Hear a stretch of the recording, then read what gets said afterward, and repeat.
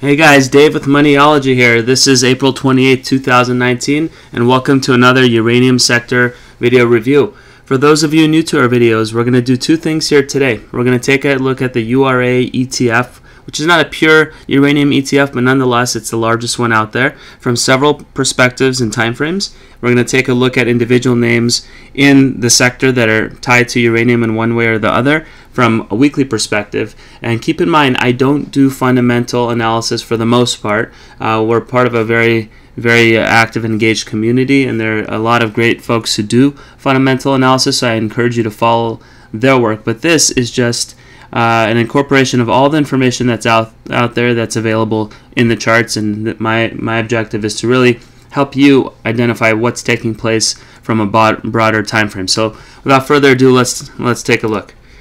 All right, so starting with the Uranium Participation Corp, this effectively tracks the price of uranium, and and so this is starting from a monthly perspective. And as you notice here, from 2011 all the way to where we are today, there's been this broadening uh, circular rounded top uh, bottom rather. And so it's it, it looks like it's getting ready to break out but obviously we had a pullback from this pretty pretty nice run up from 3.5 to 514 pulled back uh, right below the 50 uh, RSI which you want to recapture that relatively soon.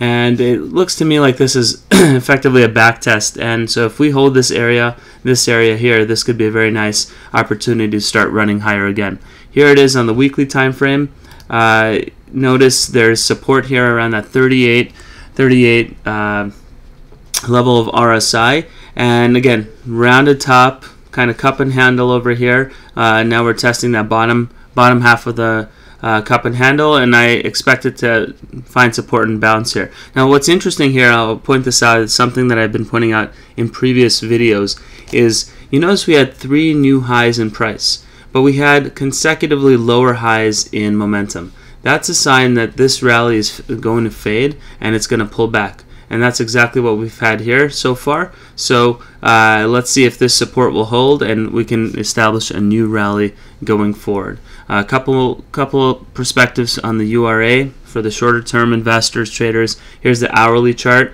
Uh, obviously, we've fallen back pretty pretty rapidly from 12, about 13, all the way to 1206. We're finding some support here. Uh, we're building some momentum, new highs in uh, in RSI here, bouncing off that 38 level, and I expect it to move higher, at least to make a run towards the 50 hour and the 200 hour moving average. And here's why. Here's the daily perspective. What do we have here? We have a double bottom. We have a double bottom, and uh, momentum hit support at that 31, 30, 30 to 31 uh, level, uh, and notice that this has been a level of support in previous uh, corrections, previous pullbacks, and sure enough, that's where we're finding support so far. Should this hold, I expect another rally back back to the highs at 13.3 and then kind of see what happens thereafter. Here's the weekly perspective. This bullish wedge pattern, every time we seem to hit this red line, it seems to fall back. And so here we are again falling back. Can we fall further? Absolutely. Uh, so it's going to be very important to see how how things play out over here. The one thing I'll point out is momentum on this pullback on a weekly is not so uh, strong, and uh, the the actual 12.99 versus 13.29 showed positive divergence, where 12.99 had a higher momentum peak than 13.29 did. That's that's that's a positive sign. So I think we're very close to a, a longer term breakout, but until this breaks out, it's still in the downtrend. Notice we we've had a shooting star right here, a pullback, and and this is the monthly. So this needs to break out to the upside before initiating uh, longer term positions from a fundamental perspective. Now, let's take a look at what I've got in the sector. I encourage you to give me any names that you think might need to be on this watch list. I've excluded W uh, Westwater Resources because I, based on my diligence, I feel that it's a pump and dump, and I don't want to support those sort of companies. So, starting with ALX Uranium Corp, uh, just a broadening uh, base here that wants to move higher, but every time it moves higher, there's a lot of supply here, and it, and it hasn't done so. So uh, if this breaks 10 cents, this can really run hard, but until it does so, there's really nothing to see here right now. Anfield Energy, this is one that we do own, and we really like the fundamental as well as the technical picture here. Notice uh, very nice run here, and then we've consolidated here for a while, and now we've built another base here around that 20 cent level with positive divergence in RSI. Uh, we, we broke, we peaked above that 50 level, broke below it, found support, and now we're uh, testing a breakout again. If 50 on the weekly breaks to the upside, that's going to be a very, very strong move, possibly a run towards 30 cents, possibly higher upon any fundamental or a larger uh, market move in uranium. Appia Energy Corp, this is hard to see here, so this is, I, I apologize guys, uh, but bottom line is, uh, we pulled back and we found support here at the 50 RSI level, which again is very important. Coincides with the 50 EMA around the 28 cent level, and so far we had uh, we had a nice hammer pattern last week, and uh, this could be a good area to add or initiate positions. Blue Sky Uranium, another one that had a very nice breakout from this um, bullish wedge pattern, and and now we kind of retested from the from the upside both on RSI, which had positive divergence, and now we're finding support at that 50 level. Uh, should this hold, this could be a very positive sign that this is indeed a legitimate breakout and uh, it intends to move higher towards that 32.5 cent level. We own this name as well. Cameco, that's the leader in the space, and that's kind of that's the main stock in the URA ETF that we outlined uh, earlier. And notice that even though it's still in this uptrend, momentum is breaking down. And I don't know what to make of it, but this little uptrend that we've had since 2017 is effectively over unless it can hold this it can rally back here in the, in the next couple of weeks and I don't know the fundamental backtrack behind this but uh, it doesn't look good so uh, keep an eye on this one I don't know what impact it has on the overall sector but certainly uh, it impacts the uranium uh, ETF CanAlaska uranium, another one here that's been in this bullish wedge pattern. Now it's consolidating here. It seems like it has a lot of support around the 20 cent level and a lot of resistance on that momentum RSI. Uh, now it's coinciding, the downtrend line is coinciding with that 50 RSI. It needs to break higher until it uh, to, to establish a new uptrend. If it can't, and it breaks that 20 cent level, uh, look out below because there's not much support until about that 10 cent level from a technical perspective. Uh, Deep Yellow, another one that's been consolidating so uh, so closely that it's very hard to really track out. But bottom line is, it needs to rise and break above that 50 RSI level uh, for it to, to maintain and establish a new uptrend. Until it does that, uh, it's still going to be dead money and consolidating for a while. Uh, Denison Mines, another one that's consolidating around the 50 RSI level, but I don't like that it's breaking below. And um, again, until it breaks that 70 level, there's not much to, to do here. Uh, either 70 to the upside or 45 to the downside. It's stuck between this range. Encore Energy Corp. This is one that we own, and we have a small position in it, and we bought it around here, and so you know it's obviously done really well, and then it's come back a little bit, and it's hard to trade names like this because of certainly from the U.S. perspective, because it has a pretty pretty sizable margin when you buy it and you sell it. That's you're giving up five percent each way, so it's not not a tradable uh, en- entry. Uh, but notice it has broken below um, this this move here over the last couple of months. So that's something to, to, to watch out for. It could fall lower. It could fall down all the way to 12 cents, possibly as low as 11 cents, or it could bounce back you know, with a lot of these smaller names, these technical patterns aren't as strong, but they still give us a good perspective of what's taking place right now. And this pullback meant we had a nice run, and uh, this was basically the peak of the rally for the time being. And let's see how low it, it goes before it finds finds some strong support. Uh, energy fuels, uh, one that's in this rounded bottom cup and handle pattern here formation, and um, even though it made a nice breakout from this downtrend. Uh, it's it's fallen back pretty hard, and let's see if 50 support holds. You notice it closed the week slightly below 50, but if it can recapture that, coupled with the 50-week uh, RSI uh, momentum support, maybe it can rally back above that three and a half level uh, on the on the U.S. dollar.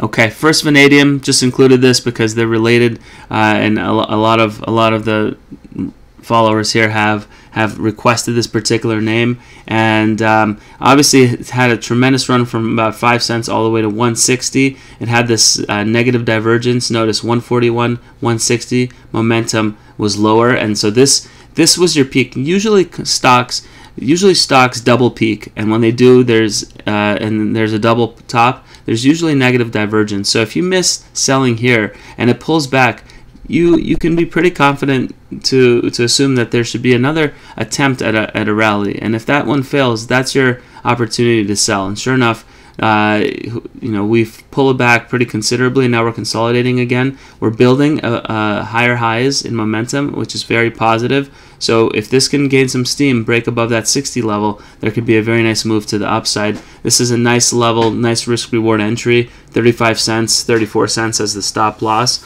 Anywhere here to to pick up along uh, might be prudent with with PPO moving in a positive trajectory.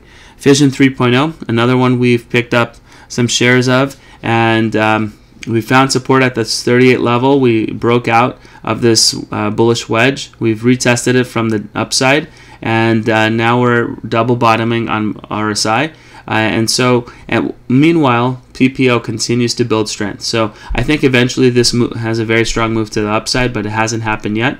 So it needs to break 50 uh, for it to really uh, get some fuel, if you will, uh, under under itself, some fire. Fission Uranium Corp, uh, one that you know it's got a good fundamental story behind it from from from what I've gleaned, but you know there's just so much noise here. So until it breaks that 50 cent level, there's really no reason to uh, to own this stock uh, unless you're just trading from 35 to 50, because I think it's going to get there sooner rather than later.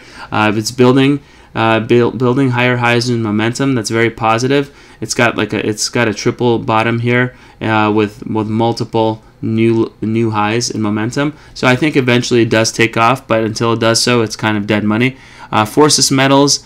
This is one that we do own, and uh, it's had a pretty nasty pullback this week, about 26%. So it's not for the faint of heart. But again, that's why it's important to buy in places like here, here, um, rather than initiating a position here, putting all your eggs in, in this basket, and then falling, watching a 25% pullback, can, which can be pretty painful. But bottom line is, this is a long-term investment, and and what from what I see, so long as it holds this 18 cent zone uh, and this in this breakout point there should be no technical problems with this name and it can just as easily uh, bounce back. I noticed it broke below the 200 and the 50 week uh, moving averages, and that's probably one of the reasons why uh, some of these stop loss triggers were were hit. And the traders know that, which is why they do sort of things. Uh, Global Atomic Corp, uh, great fundamental story behind this name, uh, and and so it's just been progressively going higher and higher and higher. Broke out of this uh, bullish pennant, and now it's consolidating to make a move above that 50 RSI zone. I will point out that momentum here is slightly lower than uh, previous. Uh, lower highs at 45 versus 46, and uh, so it could pull back here. Uh, and if it pulls back, this will be a great opportunity to add. Of course, if it breaks out, another opportunity to initiate initiate a long position. GoldMining, one that we really like from a long-term perspective, owns a very nice uh, uranium property, unexplored uranium property in the Athabasca Basin, and uh, this could be a very profitable spin-off for this company. So if the uranium market picks up, this one can really fly, not on gold, but on the uranium story behind it. And uh, the chairman of this company is the CEO of UEC. So there's a lot of opportunity there for a spinoff. And notice we broke out uh, had a nice nice momentum uh, move to the upside and now we broke down.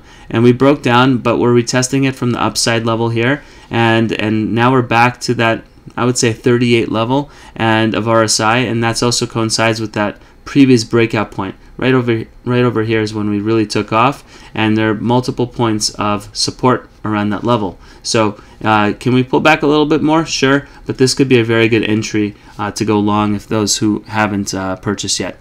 GoviEx Uranium another one that we own a little bit of. Uh, great fundamental story. Uh, broke out of this downtrend. Now it's consolidating above this line. Very positive. Uh, successfully retested the 50 RSI level and now looks like it wants to move higher, up 8% last week. The next real um, zone of resistance is that 20 cent zone. So I would not be surprised if we hit it next week. ISO Energy, Uh, one that kind of had this bearish wedge that was developing. Pointed this out in previous videos. Momentum was kind of weakening. Obviously, it's had a really, really nice run. Uh, broke the week below the 50 RSI level, uh, below this. So uh, below this trend line. Could it recapture it and, and run higher? Absolutely. But this is one right now that it's showing a lot of technical weakness. I, what I want to see it do is consolidate right above or right below this 50 uh, week moving average and recapture some of its technical strength uh, because right now they're showing some considerable weakness. Laramide Resources, uh, another one that we own. It looks pretty good. It uh, broke out of this downtrend, retested it, created a bullish wedge, broke out. Now it's retesting that from the upside. Uh, it's pulled back slightly below the 50 RSI, but this is one that I think will recapture it. Uh, a lot of positive momentum and technical indicators. Notice PPO is is moving above zero here, uh, and and if it can break above zero and build a positive trend in moving average uh, convergence, I think that's a very positive long-term sign, and I think that this can move higher uh, pretty rapidly.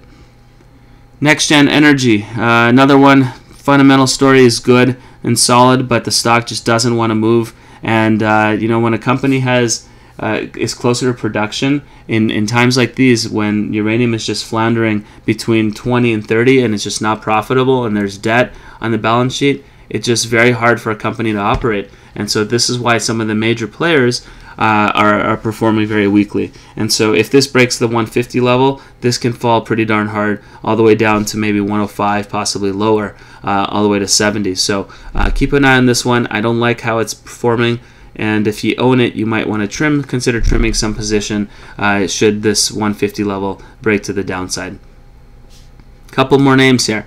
Uh, Paladin Energy. This one is interesting. I've been just don't know much about this company. I believe it's an Australian-based uranium company. It's it's it's got this just bullish chart here, and uh, if it break if if this pattern breaks to the downside, that's very bearish. But it's it seems like it just wants it's just consolidating, consolidating. And I just feel like at some point it's going to break higher. Uh, just just an eye test, if you will. Momentum was weakening. We broke lower, and then boom, had a 22% week to the upside. So keep an eye on this one. If it can break to the upside, uh, might want to do some fundamental research. Uh, this can really pick up steam if there's a fundamental story behind it. Plateau Uranium, another one with this bullish wedge here. We've had multiple uh, wedges like this uh, over the past couple of years, and I feel at some point it's going to break to the upside uh, in, in a very, very powerful fashion as it has in the past. So now that it's consolidating here, keep an eye on this one, and it might be uh, time to pick up some shares of Plateau. Uh, PurePoint is one that we've been accumulating um, over here just because we, we think that this consolidation is very bullish and eventually breaks to the upside. Uh, but, um, you know, it broke below the 50 and the 200 week moving average. So in the short term, possible uh, more weakness, but uh, it's below the 50 RSI. But we just like this pattern from a longer term perspective. Skyharbour, another one with a good fundamental story, consolidating here. Uh, and and I like the the way that RSI is, is creating higher highs here. So I feel like eventually it's going to make a parabolic move like this uh, to the upside. We can see a week where uranium you know pops and this breaks 42 cents and it makes a run towards 54 possibly higher from a longer term perspective you want to see this break 42 cents before really going long uh, from an, as an investment uh, UEX Corp, uh, one that we initiated a position on last week because we broke out and we successfully backtested this breakout point. I think the next target of 20 cents is reasonable, 30 cents is possible, and uh, notice how momentum is just building, building, building, and now it's consolidating below the 50. And once it breaks 50, that's going to be a 10 20% move to the upside. So I really like the, the setup here right now, and uh, you know, from a long term perspective, you know, I don't I, I have to do more due diligence. But in the short run, uh, this one looks really good. And uh, two more names here: Ur-Energy URG rounded base. This one, uh, once the uranium picture turns, probably goes to 10 bucks uh, or higher. So it's got a tremendous uh, story behind it, and it's just a question of time. Um, technicals look great. Obviously, it's not going to have your 20, 30, 40 bagger returns like some of these smaller names will. But if this, if the uranium does turn as a lot of us expect it to, there's going to be some really nice uh, gains from in a, from a more conservative perspective. Finally, uh, UEC, Uranium Energy Corp. Not finally, we got one more. Uh, broke out of this downtrend, and now we've we're back testing at the 50 level. I like this. I think it's going to move towards that 190 level relatively soon. And uh, and once that breaks out, this can also be um, one of those that goes past ten dollars in in um, in a renewed bull market. Finally, Western Uranium Corp. This one's uh, just confounding. I mean, it's this cup and handle bull bull flag breakout bullish pennant over here, and I, you would think that this would move higher. But you know, technicals is not a uh, 100% game, and so it just shows us probabilities, and the probabilities were positive, above well above 50%, but they don't always work out. Sure enough, we broke down. This is not a positive sign. Should we'll probably end up back testing this this point here at about 75 cents, and then let's see what happens. Uh, if it can continue building strength on PPO, then I think this can break back higher. Uh, but in the short run, that that's not a good-looking breakdown. Um, don't like what I saw there. So uh, anyway, guys, I appreciate your support. Want to just remind you, for those of you who are new to our videos, we are launching a premium uh, service starting in July. We actually started development on the website earlier this week. I'm very excited about that. We're opening the premium service to 100 subscribers. We've got 40 of you that have graciously pre-committed. I appreciate that uh, support, and uh, it's going to be a mix of technicals, fundamentals. We're going to try to bring in with your support, with your help, uh, contributors to the site to to provide their content. Uh, there's going to be a lot of uh, free resources. I want this to be an education platform. I want this to be a platform that helps active investors, do-it-yourself investors like yourself that want to use technicals, that want to use fundamentals to become a better investor. And uh, that's really the purpose of the site. This is not a uh, trading platform that's going to you know have a watch list every single day and tell you how to trade um, on a 15 minute basis. But from a longer term perspective, uh, this will help you become better investors and hopefully make uh, make yourselves a lot of money longer term. So appreciate the support. Sh shoot us a note, Dave at moniology.com if you want to be a part of this and if you want to pledge your support uh, longer term. Thank you so much and have yourselves a wonderful